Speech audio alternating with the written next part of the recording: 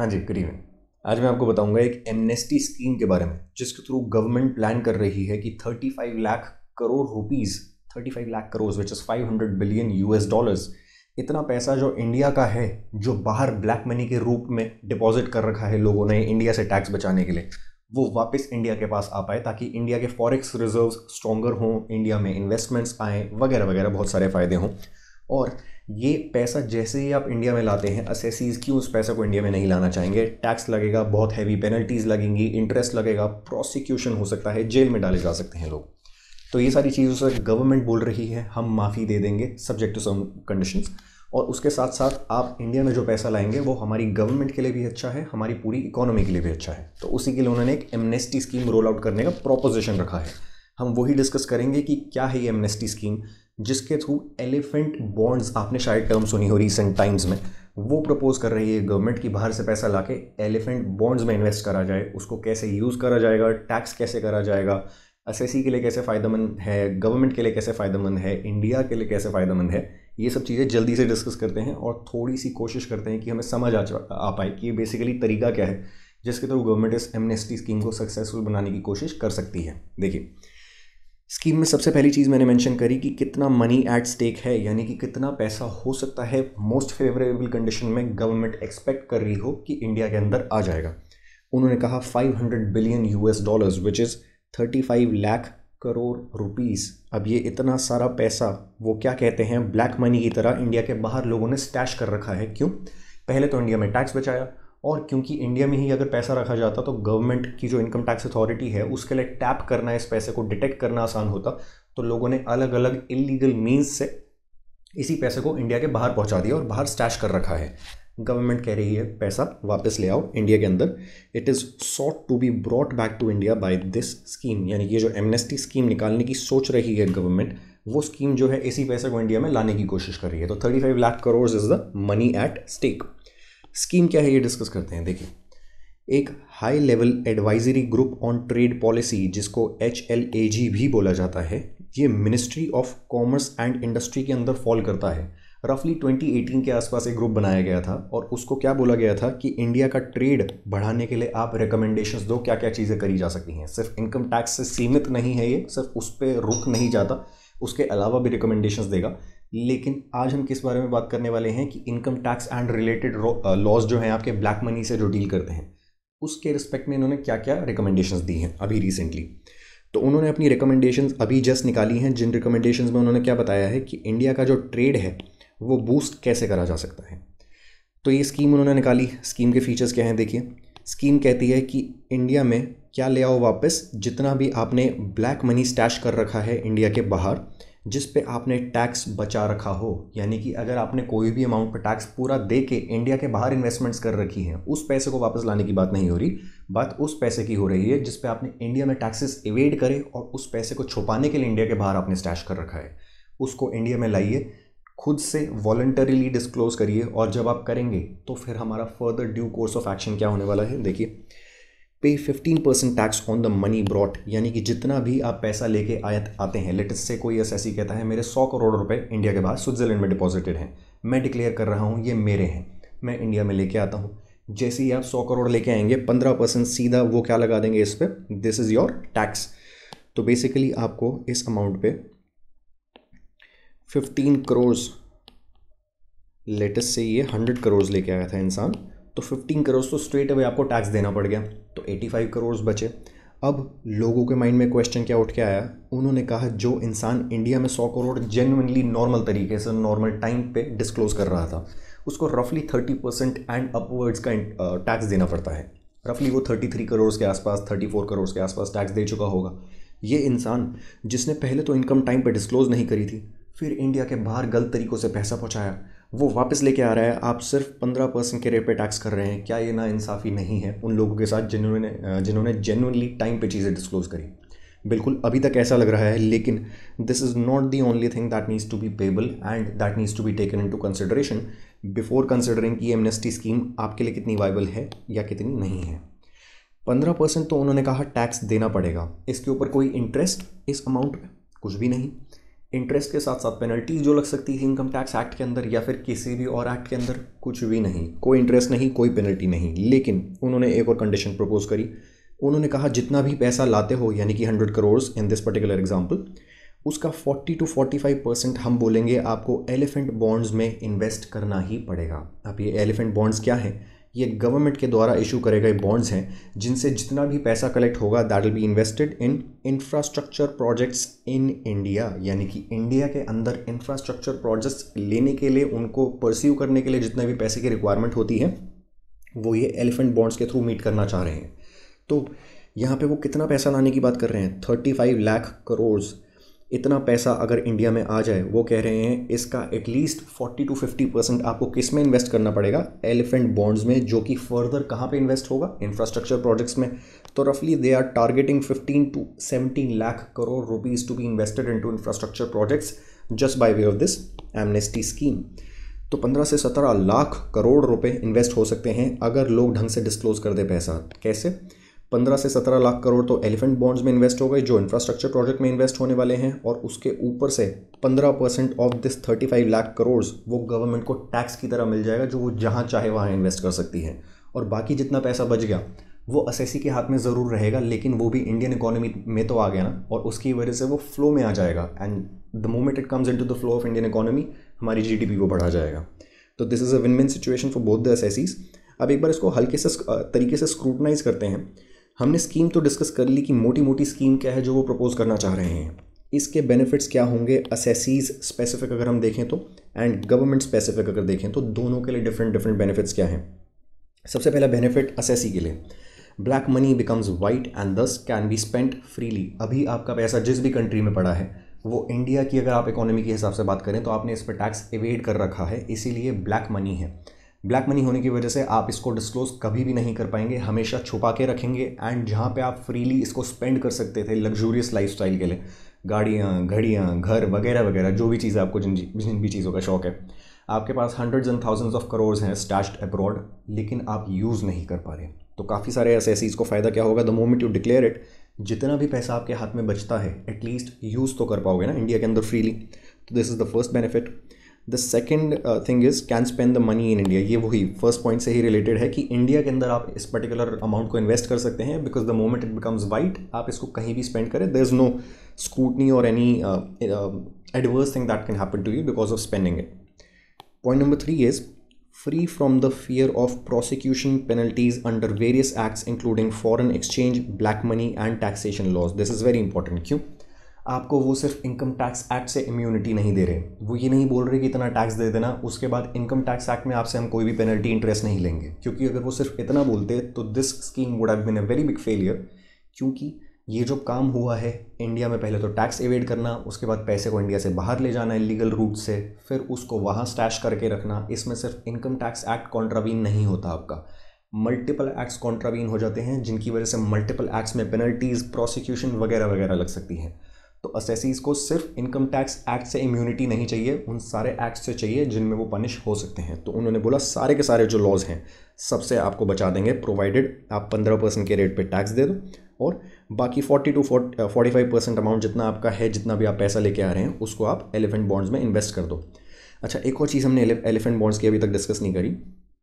इन elephant bonds में जब आप पैसा इन्वेस्ट करेंगे बॉन्ड्स पे क्या इंटरेस्ट आता है? बिल्कुल आता है।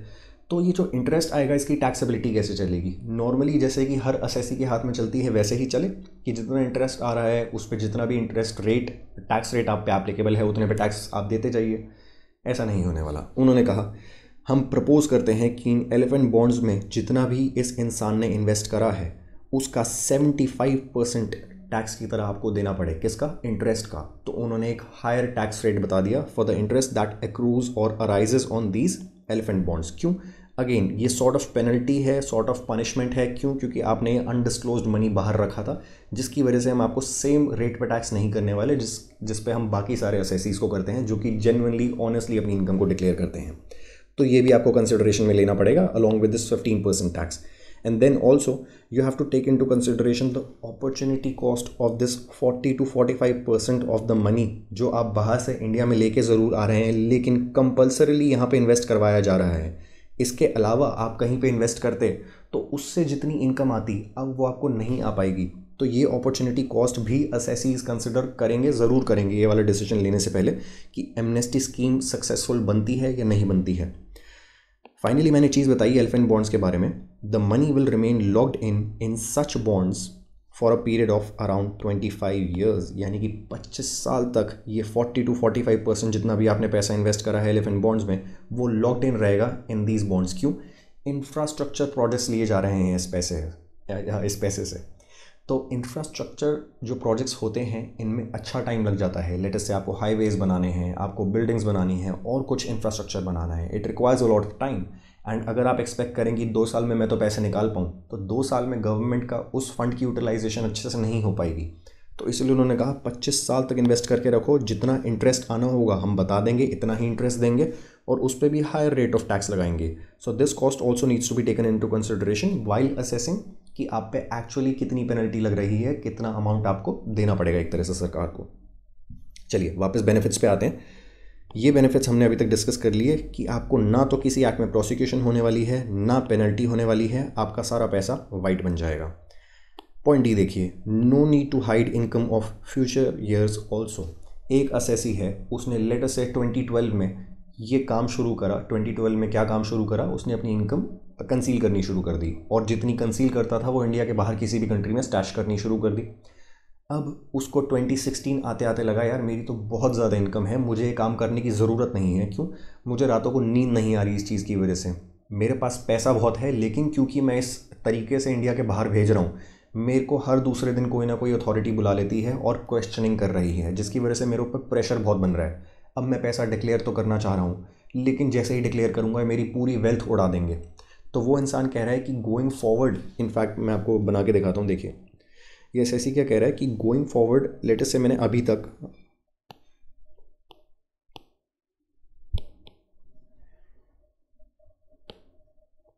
देखिए, अब ये एसएससी क्या कह रहा है?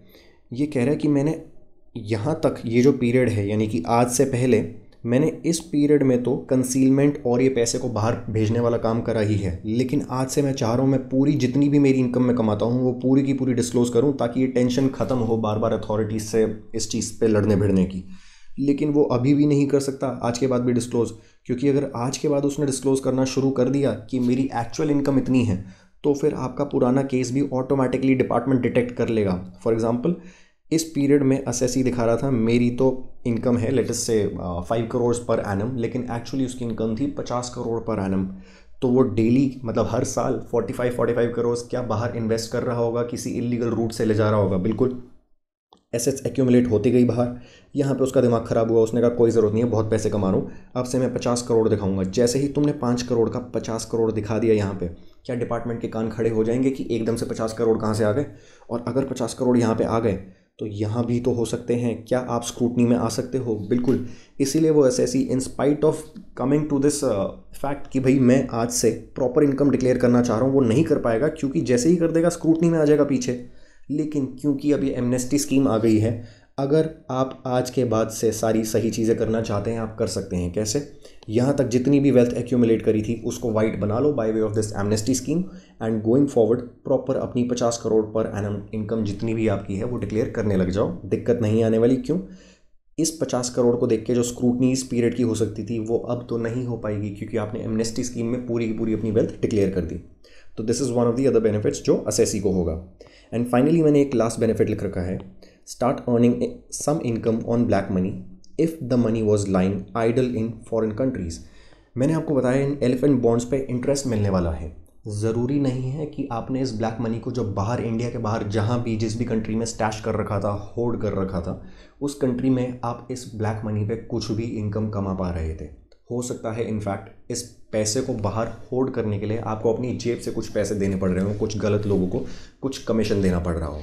अब क्योंकि वो इंडिया में आ गया है, माना कि इंटरेस्ट रेट कम हो सकता है, माना टैक्स रेट ज़्यादा है, लेकिन फिर भी कुछ तो कमा रहे हो ना मैं कह रहा हूँ ढाई, तीन, चार परसेंट कुछ भी अमाउंट कमा रहे हो तो ना कमाने से तो बेटर है ना। वो भी आपकी वेल्थ एक्यूमुलेट कर सकती है। And this is one of the last benefits जो कि हम इस वीडियो में डिस्कस करने वाले हैं टू दी असेसीज जल्दी से बात करते हैं of some benefits that are available to the government from this particular scheme सबसे पहला tax collection by way of upfront fifteen percent tax on money disclose and brought to India जितना भी पैसा आप इंडिया में लेके आ रहे हैं, उस पर पंद्रह परसेंट का सीधा सीधा तो टैक्स कलेक्शन मिल जाएगा गवर्नमेंट को। उसके साथ साथ seventy five percent tax on interest income earn from money invested in elephant bonds. यानी कि अगर आप सौ करोड़ लेके आए थे तो हमने क्या बोला? सौ करोड़ में से चालीस से पैंतालीस करोड़ के बीच में आप एलिफेंट बॉन्ड्स में इन्वेस्ट करोगे पच्चीस साल तक। जिस पे इंटरेस्ट आएगा, उस पर आप सेवेंटी फाइव परसेंट के रेट पे टैक्स दोगे।